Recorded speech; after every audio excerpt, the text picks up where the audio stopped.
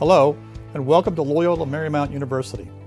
My name is Dennis Draper, and I'm the Dean of the College of Business Administration. Each year, we are fortunate to bring in a number of prominent business executives and special guest speakers to participate in our CBA lecture series. From high-ranking government officials, to leading journalists, to internationally acclaimed social entrepreneurs. All of our distinguished speakers share one common goal, to educate our students and local community on some of the biggest issues in global business today, all while reinforcing LMU's underlying mission of teaching business with ethics and social responsibility. Thank you for watching, and I hope you enjoy the presentation.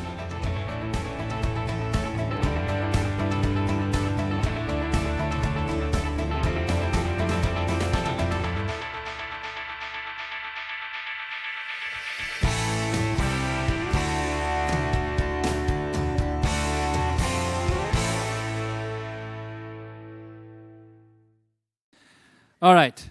Our speaker today is a legend. Okay. Many of you might actually not know that because uh, um, maybe you haven't been around long enough. But he's a technology pioneer, entrepreneur, futurist.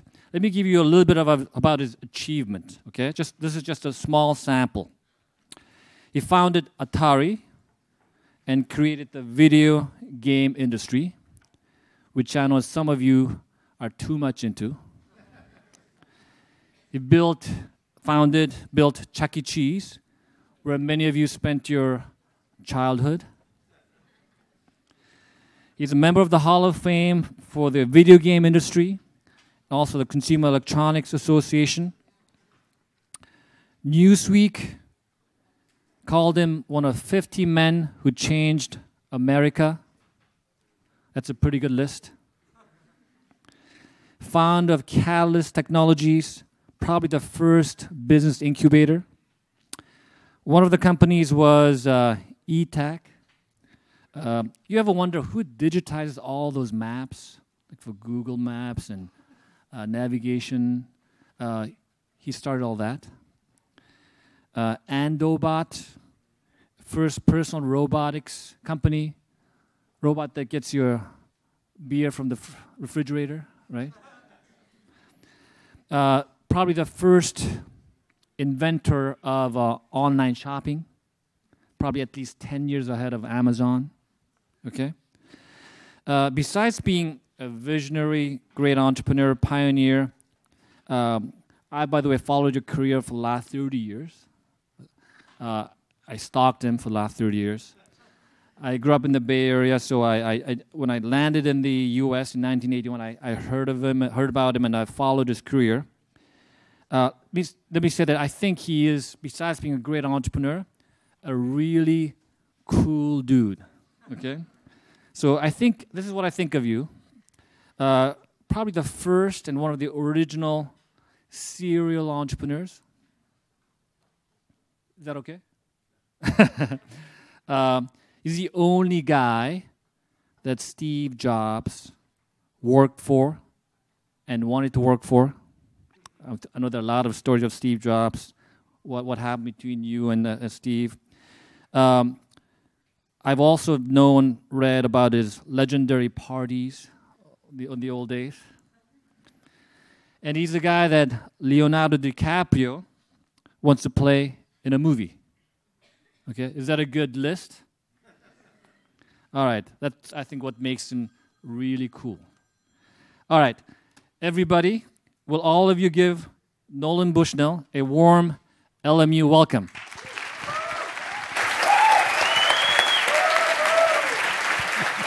Thank you. Good fun.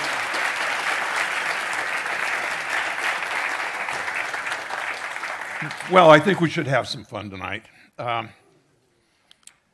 part of being an entrepreneur is by being out of the box. So I try to be out of the box a little bit. So if half of you by the end of this evening don't think I'm stark raving mad, I'm not pushing it hard enough.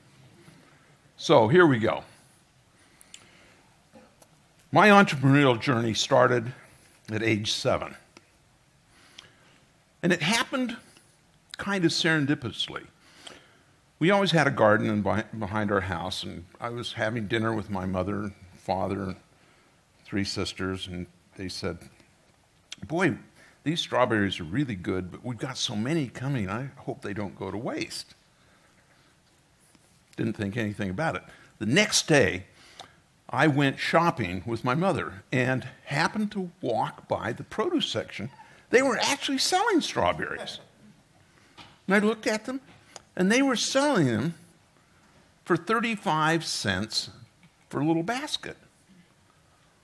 Well, remember, this was in the days when my allowance was 25 cents a week. So 35 cents for a basket of strawberries.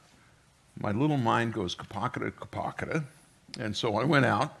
I got all the little baskets I could find, filled them with strawberries, and marketed them door to door. And I had my first, and so I'd done market research. I knew what the market was. Now I had the question. I was providing extra service by delivering it door to door. Should I charge a premium? Or, I'm an eight year old kid. Maybe I should discount a little bit because they'll think that somehow my strawberries aren't as good. But they're actually better because they're fresher. I just decided to go with the market. I priced it at 35 cents. By the end of that evening, I'd earned $7. I was hooked. My mother, when she found out what I'd done, it had a cusp moment. She could have said, Nolan, you took all our strawberries and you sold them. I need some of the money. Or she could have said, You took all the strawberries. Why did you do that? That was really ungrateful. Or she could have said, Nolan, what a great idea. And that's what she said. And I really look back on that and say, gee, you know, that's really cool. Okay, so the die was cast. This is Nolan Bushnell, age 11. I got interested in ham radio, and that's because I got I had a third grade teacher that had me do the science class on electricity. That meant I got to play with the magic box in the closet. And I wired up the dry cells and the lights and the switches and everything like that. And wow, I thought that was really fun. And I took I went home that night, set up a card table in my bedroom, got every piece of wire, an old flashlight, an old battery I could, and I started to tinker. And I never stopped. Then I discovered a guy down the street who was a ham radio operator, and I got my license, W7DUK, when I was 11 years old. And that led me to be interested, and I found out that I could repair TVs. And so I set up my next business. Oh, I also worked with my dad when concrete, putting in curb and gutter summers. And I decided there was no way I was going to do that for a living. so I put up Bushnell Repair. Now, in those days, a house call because TVs were big and they were expensive. And, uh, you know, they basically cost a month's pay for a TV set. And they were running on tubes. And tubes burned out all the time, these little guys. And so I discovered that you could fix most TVs by replacing the right tube. Not rocket science. But to get people to allow an 11 year old to get into the back of their TV set with all these great big elect, you know, voltages running around. Now I look at it and I say, my parents were either crazy or I really are really cool because they said, well, be careful, Nolan, and make sure you discharge everything. And I did. I, I got shocked a few times, but I didn't die. And uh, and I had Bushnell repair, and uh, I was knocking down serious bucks at 11, 12, 13 years old. And I did it. Here I discounted from a regular house call. Regular house call was, 50, was five bucks. I started out at 50 cents and then I went up to two and a half. But I really marked up the tubes so that I could end up basically making $10 a profit for every game, for every uh, house call. Take me about an hour. This was in a day when minimum wage was a buck. Actually, I think it was 90 cents. I'm really old. Um, then we fast forward to, uh, to college. And this was the wonderful idea. The, the U, Utah State University calendar. I was born in Utah. And I sold all the ads around the calendar with the calendar of events and things like that. I actually don't have a copy of my calendars. I don't know why. You know, as entrepreneurs, save your stuff. You just, you know, it's nostalgia. It's like a trophy room. But anyway, so you say, well, is that a business? Here's the business. There were 22 ad pages at $150 each. That's $3,300. I had $680 in printing cost, and I gave them away at the beginning of every semester and every, every quarter. I went from one university to four. I was making more. I was making triple what my dad was making. And I felt really good about that. And I bought myself a Mercedes 190 SL.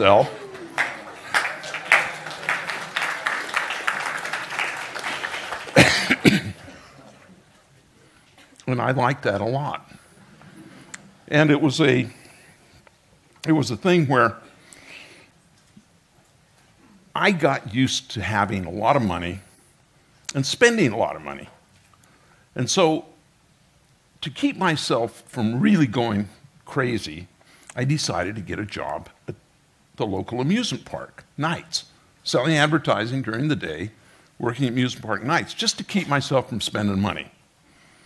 Because, you know, hot summer nights in Utah, you'd be surprised what you could spend money on. and you got paid a dollar an hour to work on the midway. Throwing, you know, getting people to throw balls, knock down milk, milk bottles. So I have a carny. Can't tell, can you?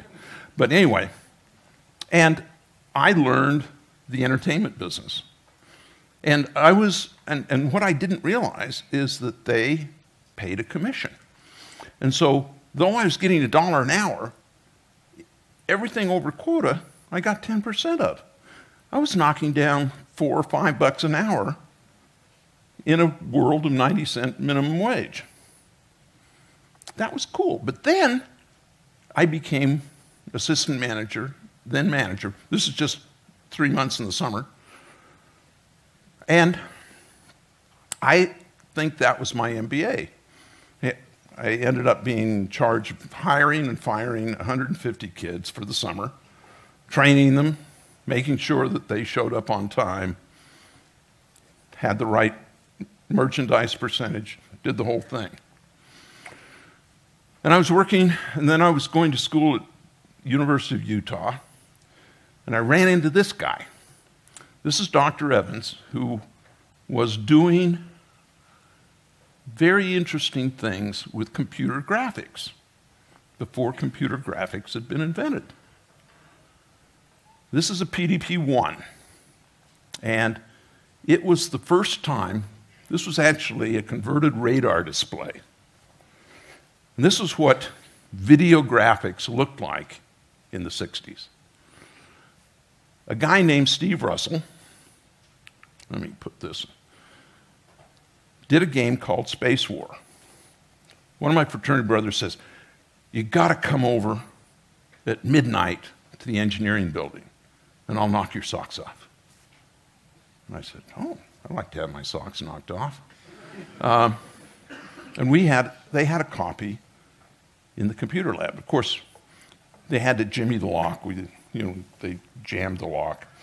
And the computers aren't turned off at night. And so we were there totally in the dark with the little flashlights and playing computer space all night.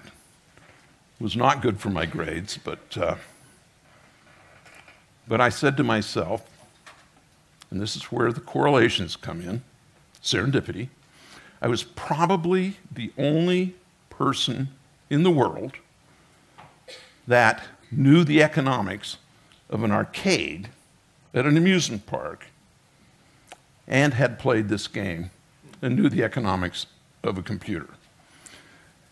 And you divide 25 cents for three minutes into a multi million dollar computer or even a $100,000 computer, and the math doesn't work.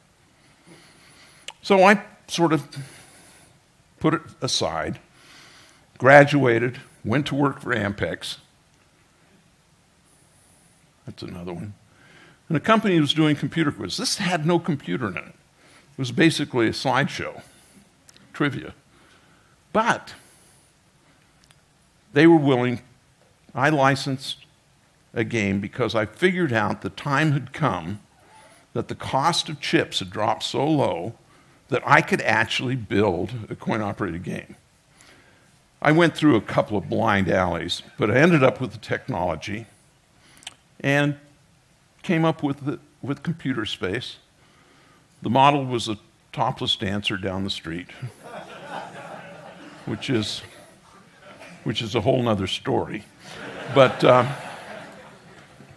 and then that was a license. Now, a lot of people don't know why Silicon Valley has so many entrepreneurs.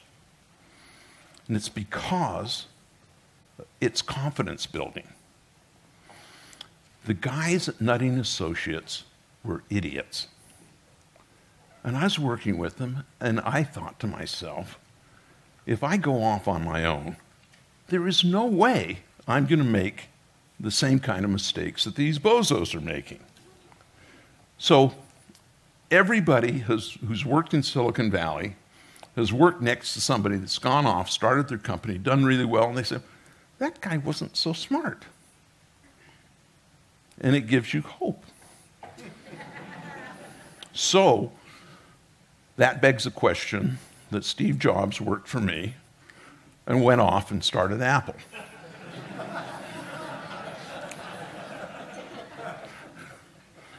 I'm sure I was his bad example. Anyway, two innovations here. One is the Pong game, the other is the polka dot shirt. Polka dot shirt did not catch on. Magnavox Odyssey was coming along about that time, and we did consumer Pong. Oh, there's a story that's absolutely true. When we tested our first Pong, it was on location for three days, and we got a service call. We thought, oh no, our technology is not reliable. What are we going to do? The problem was that the, compute, the cash box had totally filled up and wouldn't take any more money. That's an easy kind of fix that you can make. Did the Atari 2600, sold the company Warner, they screwed it up. Um, now, I don't want this to be an Al Gore story, but I got to do it anyway we were going to do a network of games. And it was going to be based around the Atari 800. And we were going to put modems into closets in every area code and link them together with T1 lines. And the IP, the, the, stack, the address stack, is so close to the IP stack. And I can remember having a conversation in the conference room where we said, are people, we're not going to have the bandwidth to be able to do the games and talk, but will people type to each other? Everybody said, no. People aren't going to type. you know. And, uh, and anyway, after I left Atari, they killed that project. We had the fastest modems in the world that we designed. All that technology was sold off to US Robotics. And uh, And I'm convinced that had I not sold Atari and had kept and, and deployed our game network, it would have turned into the internet. I would have owned the internet. but I didn't and I don't. So, anyway, woulda, shoulda, coulda. Um, Steve worked for me. Uh, he was rough, rude, smelled bad. And so I put him on the night shift. But I did it for two reasons the engineering night shift, of which previously there wasn't one. And uh, because I, he was really good, and I he was my secret weapon because if I had a distributor that was giving us a lot of trouble about wanting to have repairmen come out and visit them all the time, I'd send Steve, and they never wanted him back.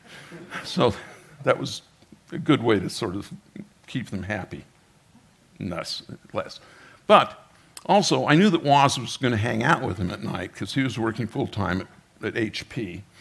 And so I thought, hire two Steves for the price of one. That's a good deal in anybody's days. So, anyway, they left, and then they offered me one third of Apple Computer for $50,000, which I said no to. I've regretted that one too. Um,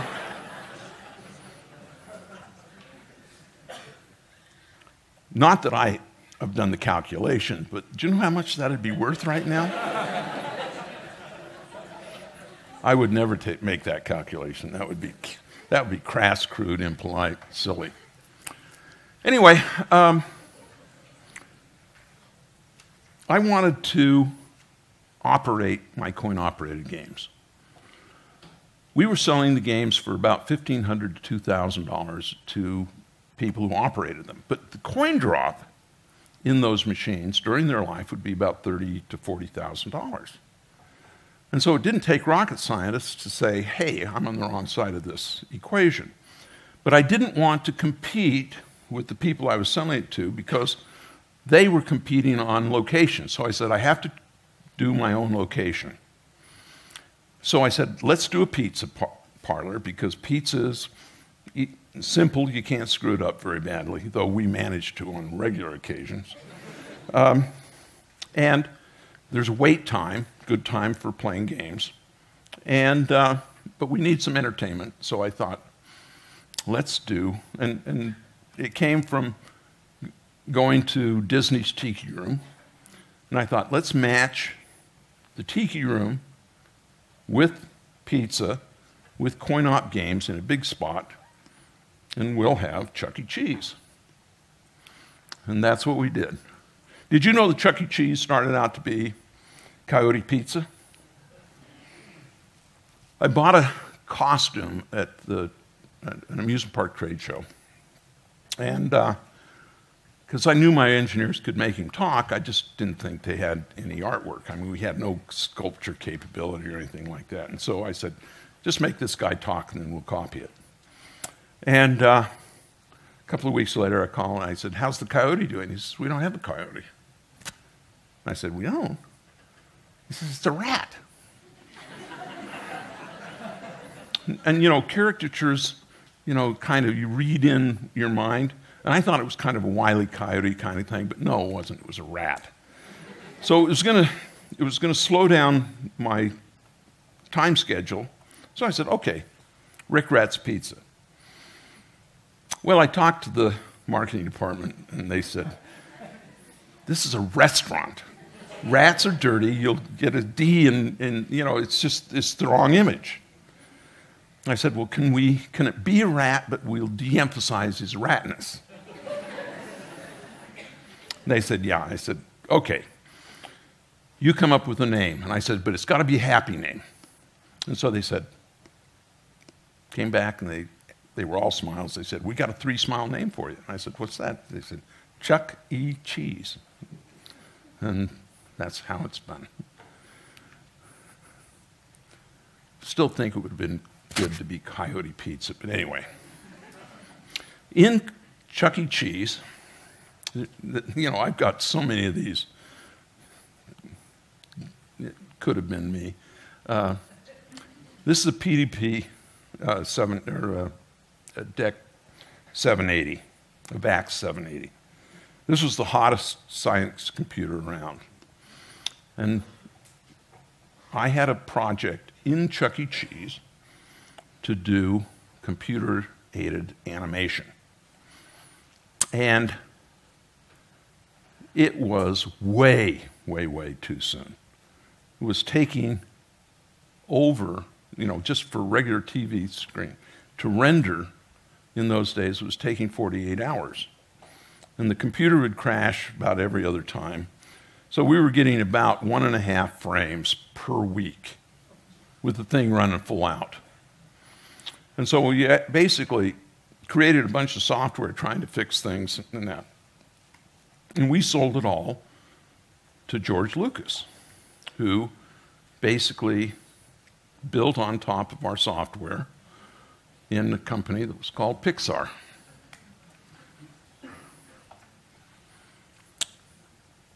This could have been mine. anyway. Then I did uh, a thing called Etak, which was, again, used a whole bunch of axes, and we matched DIME files and created a dead reckoning system. This company was started in the middle of the Pacific Ocean at four in the morning because there was a sat nav, but you could only get a fix once every 24 hours because the sat they, they, were in polar orbits and, and you could get it would only do a Doppler shift so you knew where we were.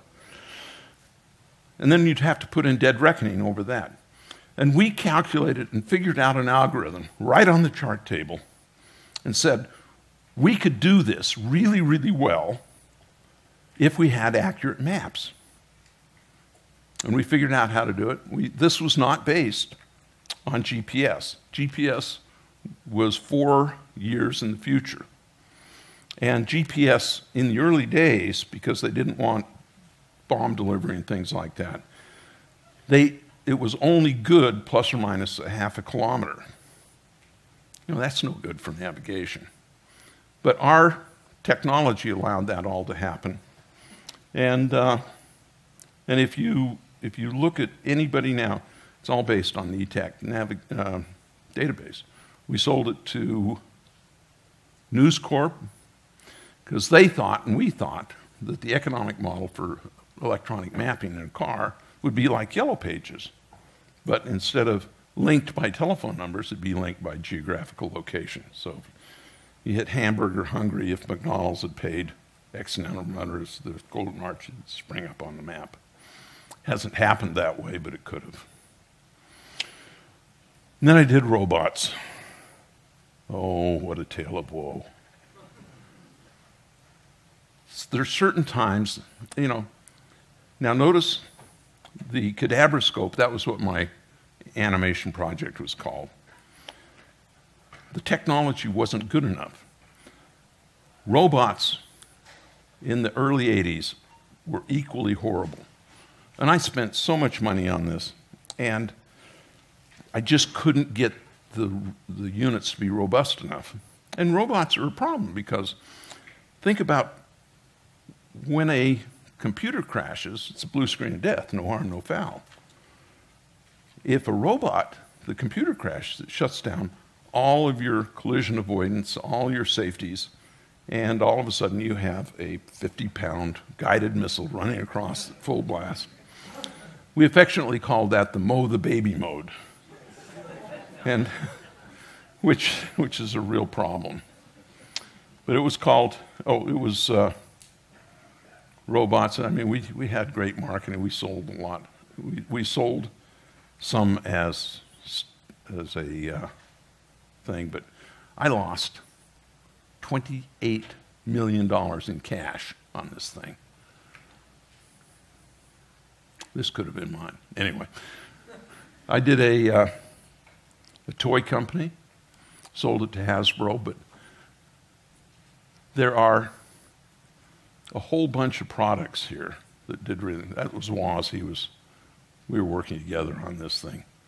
But this thing called Breath Blasters was the funniest product that was the biggest failure I've ever had. Now, market testing, every little boy wanted to have it. I mean, basically, it was a, a hollow plastic, ugly ball, and when you squoze it, a bad smell would come out. We had clever little names like Dog Breath, Victor Vomit, um, Morning Mouth, Fiona Fish. I mean, it was, they were bad. And we just sold the hell out of them. Shipped them. They came out of the box, went on the shelf. In six hours, they went back in the box because the packaging leaked And as you walked down the, the aisle in Toys R Us, it smelled like death. the kids wanted it. the, the, the, market research was off the charts, but there was no way to get that into the marketplace. If, it, if the internet had been alive then, we'd have really made a killing. But anyway. Then I did uWink. This was a restaurant chain. I don't know if any of you have been here, but we had um, we had screens at every table. Now talk about really crappy timing. The good multi-touch touchscreens had not been invented yet. This was three years, four years before the iPad.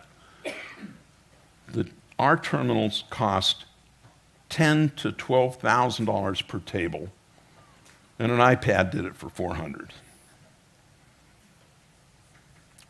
And we had so- we wrote our own software. We did all this stuff, and then uh, Lehman Brothers collapsed, and we we had to close that puppy down. That was another smoky hole. I don't know if you're getting an idea here, but I, I've got about a 50% track record here. I, this is kind of my life. Say, I love this sign. This is a natural, real sign that somebody put up. I thought it was funny. Okay, what am I working on now? I'm working on some immersive physical experiences. Uh, the whole idea is that how do we get people out together? Like I'm working on a uh, musical, an immersive musical. Think of going into a series of rooms, and uh, everybody, the whole thing is around you, and that's scene one. So instead of having a cine march, you you pipeline the audience through, and uh, I think it'll be open somewhere around August, September of next year. So I'm, I want you to all come many times and buy a lot of tickets. Um, I'm working on BrainRush. Education right now is a disaster. Now, I know that I'm here at a college, and I probably shouldn't say that out loud, but it turns out that everything we know about the brain is not being used. Like, it's first day of school, little Johnny comes in, and the teacher says, What's the difference between ignorance and apathy? And little Johnny says, I don't know and I don't care. and, uh, but unfortunately, school really hasn't changed that much, even though our brains are very different. When I started to go to school, School was the most interesting and exciting thing that was happening. The alternative was watching the corn grow and the river flow. You know, that's really boring. That's not who we are today. Like, we meet for coffee and we get together for dinner. We have fun at the museum. We have fun at the beach. And of course, we go and visit grandma. but our tools and our cell phones and our online personality changes our brain. We're wired differently today than people who are not online. It's a fact. Do you need to know the same things that you needed to know 20 years ago when you can just Google it? Probably not. But you have to have a lot more visceral understanding of problem solvings. Exercise is very important to your brain. You can increase your capability by exercising twice a day. We're training out, we're training out creativity. This doesn't work. Um, but we're actually teaching wrong way and wrong things. I believe that in primary and secondary education, we need to have no grades and no grades. The first no grades is are you in the third grade, fourth grade, or are you sophomore, are you freshman, junior? That's wrong. And the reason it's wrong is it implies, by its very nature, batch processing. And everybody's a little different. And when we are you know, measuring against each other, there are some winners and there are some losers. The winners are enthusiastic already, but the losers are constantly measured when in fact they're doing very well. Did you know that our software has determined that there are a lot of cognitively brilliant kids who have just a little bit slower clock speed? Euphemistically and politically correct says, he's a little slow. That's a pejorative when in fact, shouldn't be. Does it really, really matter in today's world if it takes somebody 1.3 minutes to solve a problem instead of one? It does in our educational system, but it doesn't anywhere else in the world. And so I think that when we can get rid of grades so that at some point, parents decide to kind of throw their kids over the transom. And from that on time, they progress through the curriculum at their own speed. The guide on the side, not the sage on the stage. Then no get grades. Now, think about this for a minute. What if all education is about mastery and that without grading, is there a forcing function? Are the teachers that will be selected the same teachers when there's no grading than when there is grading? I can remember in college saying, oh, that's a case A from that guy. Did I learn more? No. Anyway, here's my here's what I believe a junior high school day should be. You should exercise aggressively for 20 minutes. You need to have your heart rate above your 80% level for 20 minutes. That causes your brain to secrete BDNF, which is brain derived neurotrophic factor, which is a precursor protein for brain and dendrite growth. That says that some of what you're going to be learning for the next, and the effect is about three hours, for the next three hours, you're going to be putting some of what you've learned into hardware. So get your heart rate up. You only have to do it for 20 minutes. Boom. You'll be better. Then you have breakfast. Then you have intense computer problem solving, do things, project things. Then you have a snack and free time. Your snack should be oily fish, chocolate, and green tea. Put it all in a blender. No, but you want to have certain of the things that are found in each of those things, particularly the oily fish. Uh, then you have problem solving and project based, and then you have lunch. Spark is an interesting book that talks all about the effects of learning and exercise. It's by a good friend of mine, John Ratey, who's a Harvard uh, professor, and it's a fun, it's a fast read. If everybody followed his prescription with no change in curriculum, just change in exercise, outcomes can be increased by one full standard deviation, in some cases two. Anyway, okay, now we're in the afternoon. We have, after lunch, we take a nap. And NASA has done a whole bunch of studies and found that a 20 minute nap after lunch increases efficacy after, for the full, whole afternoon, by as much as 30% more. So you, you have a nap, then you have to exercise again, because remember, the exercise effect, only, the BDNF only lasts for about three hours. So you have two exercise periods, and then you go off and you do things, and, and you have your school day end. These are Google sleeping pod, nap pods. These are Chinese nap pods.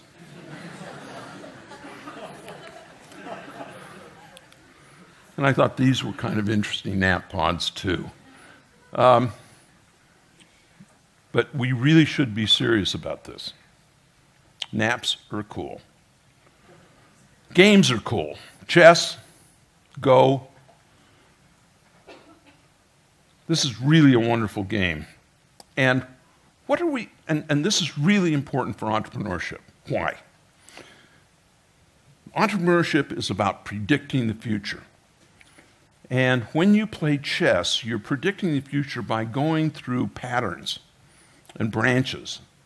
And a really good chess player can go through, you know, can project out various outcomes based on you know, unexpected responses or expected responses from your opponent, 12, 15 moves.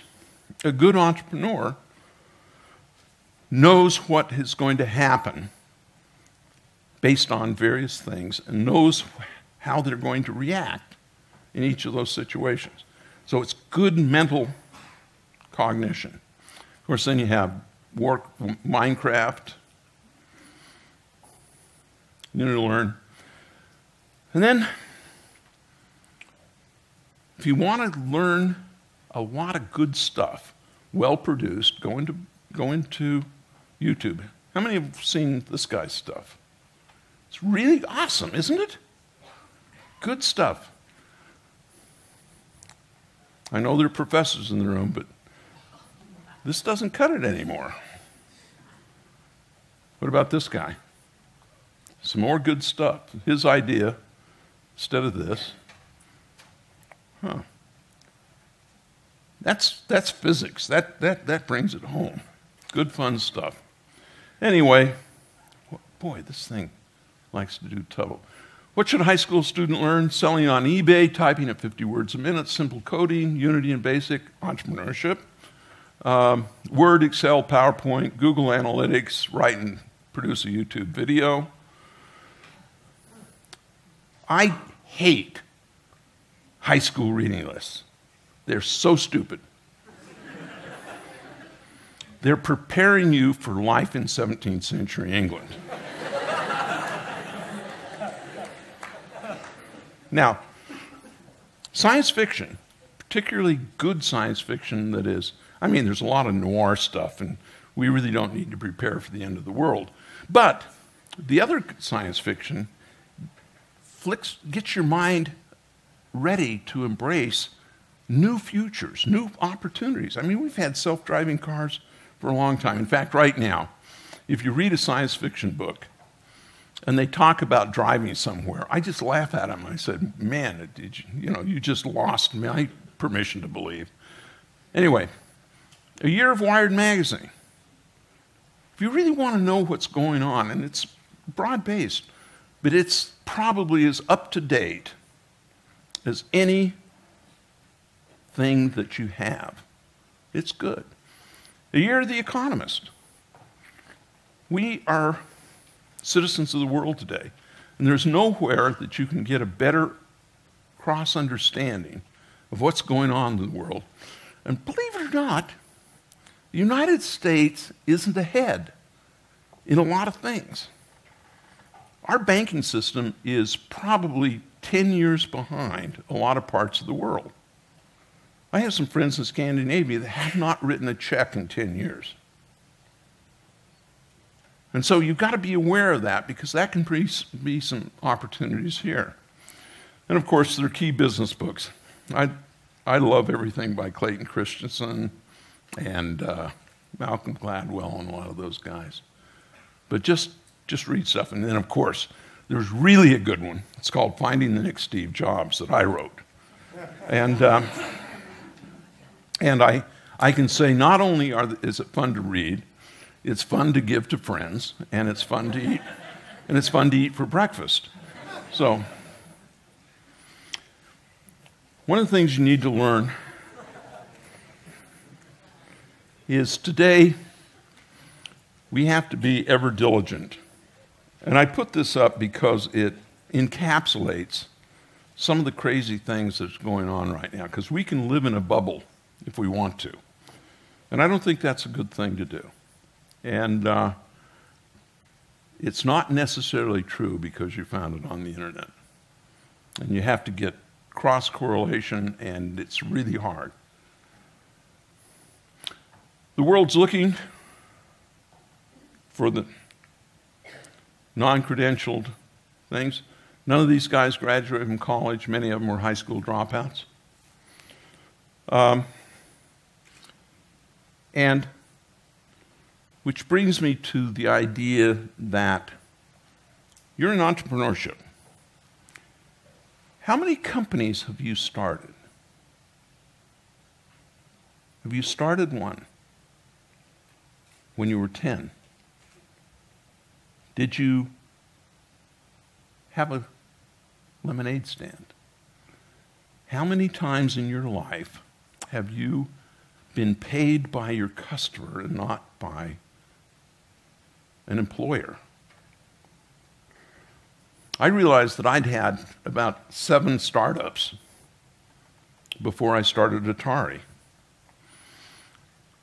Do you think it's reasonable to try out for the NBA if you've never played stand-lot ball? If you're going to be an entrepreneur, do a lot of things. There's another thing that, that you need to do write business plans. Not big tomes, but three or four pages. And answer six questions customer acquisition cost, what's your market size, what's your likely customer demographics, what's your likely startup cost, and only start a company that you can start with no money. Zero money. Now, you say, well, start with no money? Yeah, start with no money. There are millions of jobs that you can create with no money. You just got to get your head around it. For example, there's a guy and his wife who live on a mountaintop in Aspen, Colorado in a house that's worth about 15 million bucks. Probably more than that now. And they started with no money. And they had one skill. Well, he could make a catalog on the internet, and she had good taste. And they would go around and find little objects of art and things, and they'd travel around to the county fairs and swap meets and what have you. They'd see cool, cool little things. They'd put it in the catalog and take orders for it. And the ones they got enough orders, they would go get it built in China, ship it over by the truckload or the container load, and to a distribution house that they didn't own. They had no employees. They were doing $80 million a year. So, if you have an idea for a product, make a sell sheet, get a customer. Once you have the customer, there's jillion companies, domestic, US, China, what have you, that'll build it for you. No money. It's a matter of doing the deal. Now, where do you get ideas? I'm really grateful that I had a whole bunch of different jobs. I didn't, I didn't know that I was going to do the video game, but I had a lot of different things and experiences. So maybe one of your quarters or one of your semesters in entrepreneurship would be go and live in Las Vegas and go to every trade show that's there. And there's about 20 going on at any particular time. And what that would do is give you an overview of a tremendous number of businesses. Now, right now, you can do arbitrage. That means you see something in one industry that is normal that isn't used over here at all. That's an opportunity. Because a lot of times those ideas can be transitional. And the last thing you want to do, and when entrepreneurs come to me and they say, everybody's going to want this, I say, uh, don't. no.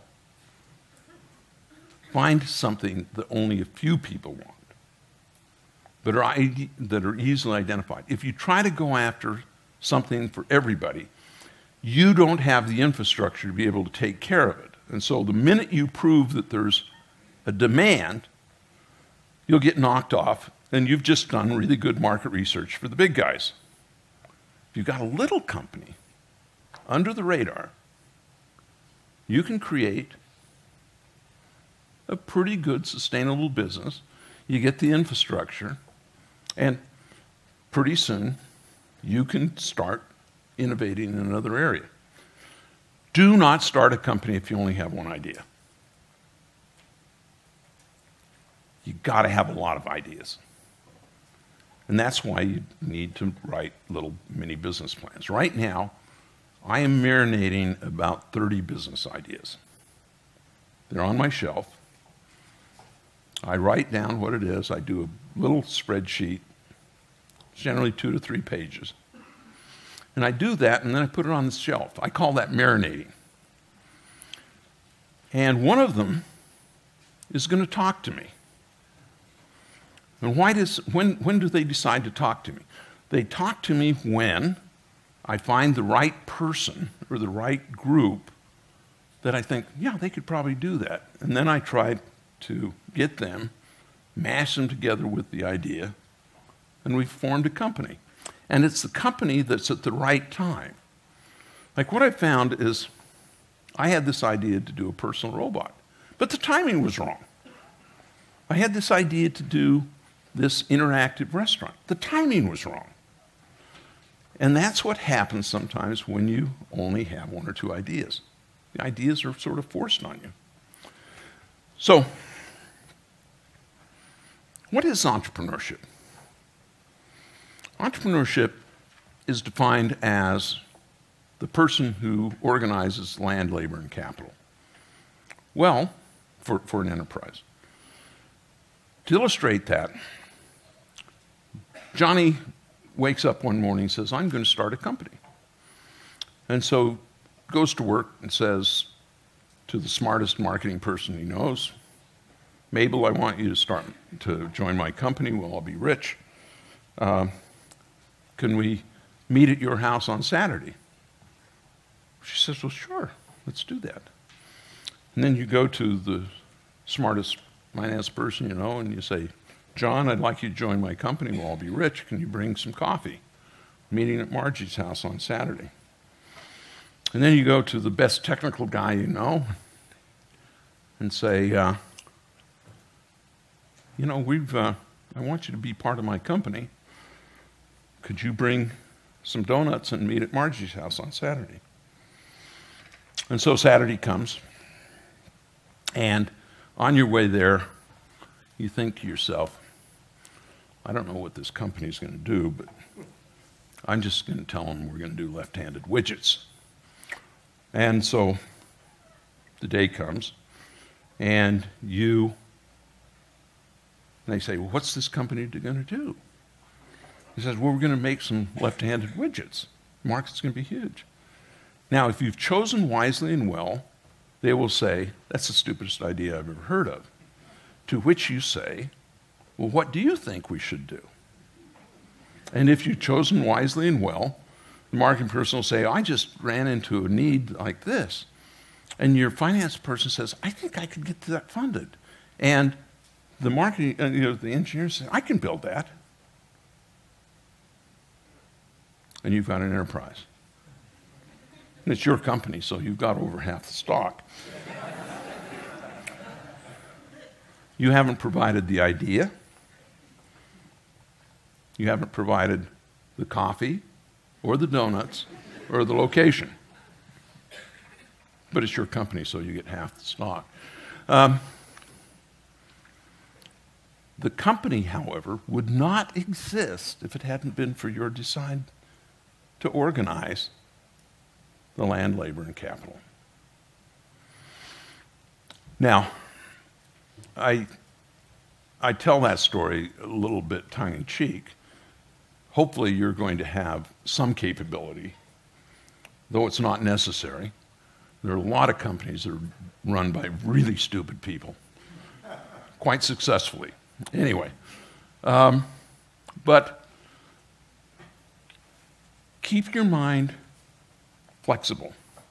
I advise people all the time do not hire the dead. And, you know, dead people have no life, they have no energy, and they're in a box. What you want in your enterprise is you want people that are full of life and are out of the box. And so, whenever you're looking at people that are your friends or your employees or your associates. Make sure they're alive. Companies that are run by zombies are horrible. And yet they're all over the place. Go get a driver's license sometime. That, that was really me. Am I running out of time? I'm, I'm out of time. Oh, I've got a whole bunch. It doesn't matter. I was going to talk about the problems. Basically, we're going to run out of a whole bunch of jobs, robots. Oh, here's a fun one. Who's, what's this? This is a cowboy. Most of the beef in the next 20 years will be done, will be grown in vats. No, no bone, no, no, uh, you know, hide, no excrement. It's going to make the vegetarians go crazy. Uh, and uh, all kinds of retail automation stuff. These are all the jobs that are going to be lost. And then there's a whole bunch Oh, I got that one again. Um, now, I don't need to do that one. Oh, one of the fun things the self driving car will allow us to garden all our streets. Think of all our streets going away and turning into parks. All traffic should be underground. Think how quiet and wonderful have you ever stopped to think about how ugly all the cars parked along the streets are? How chaotic? Wouldn't it be nicer to just hear the birds chirping? This will all be possible because we're going to be able to do a lot of cool things. Of course, there's the Hyperloop, goes fast. Uh, aquaculture goes wet. Um, anyway. I think we'll need you back. it, I, you know, I get too carried away with stories, and I so anyway. But we've got a really good life ahead of us, and I can hardly wait. And the best way To predict the future is to invent it. Thanks.